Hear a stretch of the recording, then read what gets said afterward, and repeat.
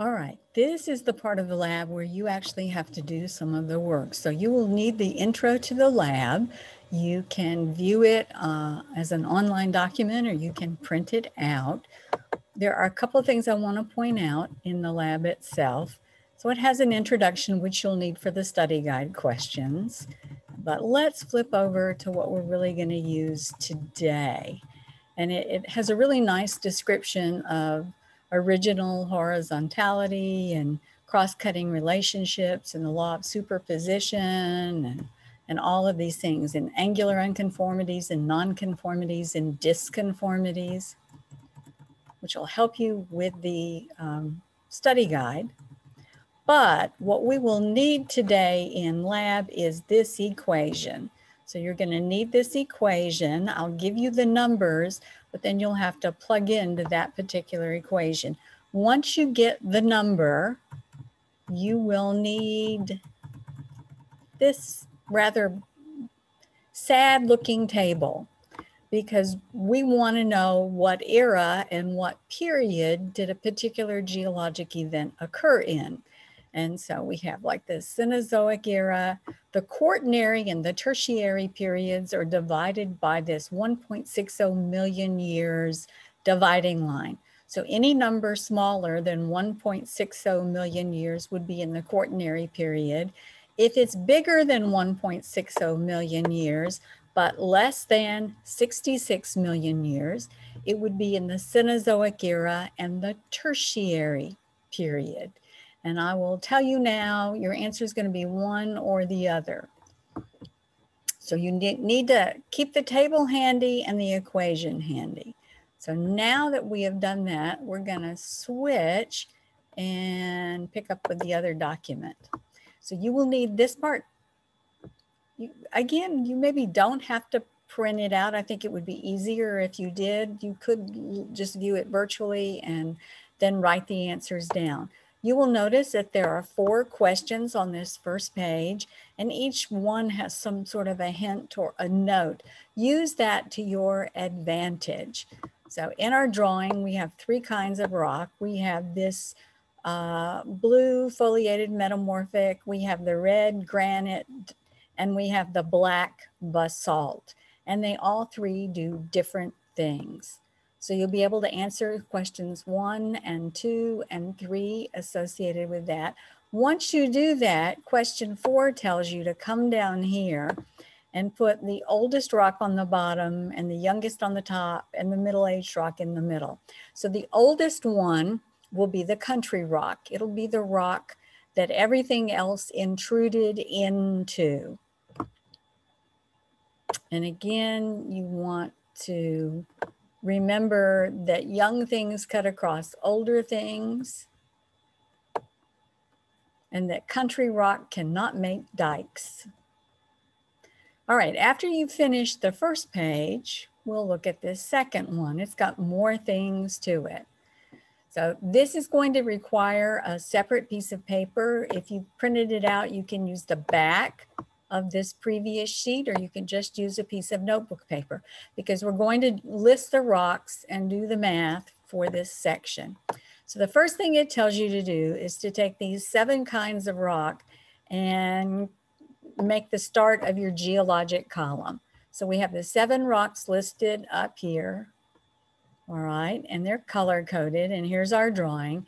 And so you want to start and work your way down, probably starting on at the B in basalt and coming down would be the way to go. So obviously at the top of your list is this orange rock, which is Arkose. And then it's followed by this green rock, which is conglomerate. And then you go all the way down until you end up with dolomite as the last rock. So you want this on your a piece of paper, not over here in this column, but on a piece of paper. So once you have the rocks listed, the next step says insert the unconformities. Well, we've got one, two, three of them. so you'll draw a little arrow out to the side and write unconformity, just like we did in the previous video. And then let's do the basalt dike. So you have the basalt dike, it cuts through And you want to remember that whatever rock it cuts into has to be there. So the basalt dike will be on our list above that on the list, closer to the top of the page. And remember, if you have two things happening at the same time and one of them is an unconformity, the unconformity is higher up. And that we gets us to the dike stock sill combo. So this big white blob happened all at one time. We're going to ignore the sill spot part of it. We'll ignore the stock part of it and care about the two dikes. So you use those dikes to determine what rock was in place so the dikes could cut into it. And that means the dike stock sill combo comes just above that in the listing of the rocks. We're almost finished. You have a tilt. So if you look in the lower right-hand corner, you need to decide, did only the dolomite tilt or did only the siltstone tilt, or did both the dolomite and the siltstone tilt? Whatever you conclude, you want to include, again, an arrow out to the side and the word tilt in that rough drawing or rough draft in order to then create the geologic column. The last thing we need to add is the alluvium. It didn't get a color. It's not a rock. Alluvium is the material that a river dumps when it overflows its banks. And in this cross section, alluvium is the very newest thing. It hasn't turned into a rock yet. So alluvium will be the very tippy top thing on your listing. It's going to be number 14 at the very top. And then everything else is going to come below that. The very last thing in your listing will be dolomite. So you need to take your rough draft, that listing of rocks with the arrows showing the unconformities and the tilt and the basalt dike and the dike sill stock combo. You want to take that and work down from the top and insert the rock layers where they belong.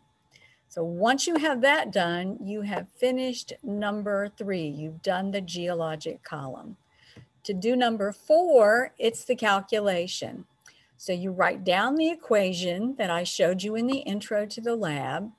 And instead of D divided by P, you'll have one divided by 820. And instead of K, you'll have 1300. Do not take the word million and turn it into zeros.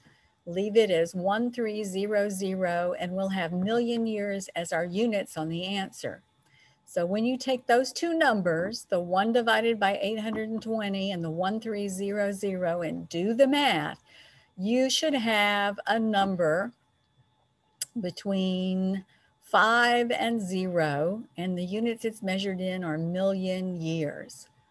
And you'll want to show me your work. You can do it on the same page you did the rough draft because I'll have to see that too. Once you've got the number, you go back to that table I talked about and decide which era and which period the dike intruded and write them down for me.